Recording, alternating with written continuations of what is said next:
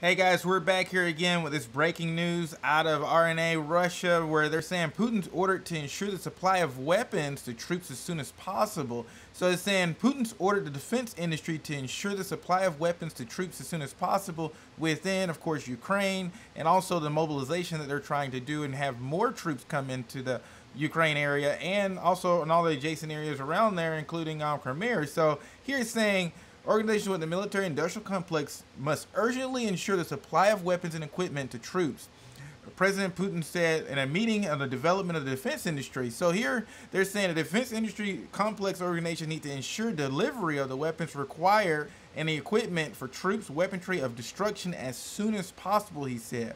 So again, he's trying to, again, like we were saying before, have this incredible mobilization of troops out of Russia into Ukraine and being able to take over more of their property and um, uh, you know just a land mass faster than he was able to do before by having more troops on the ground, more equipment on the ground, and even in this article he's talking they're talking about he's even trying to um, basically have a full analysis of all within Western military equipment used in Ukraine. According to him, this can contribute to the improvement of domestic weapons while this should be done as quickly and as efficiently as possible. So again, he's trying to now, like we've already seen before, they have, of course, seized U.S. and NATO allied weaponry, and they're now trying to essentially advance their technology to be on, on the same level or if not better so that they can compete and be able to destroy even more military targets using standard military grade equipment without going to the nuclear weaponry. But as we all know, because of the time it takes to get all this done,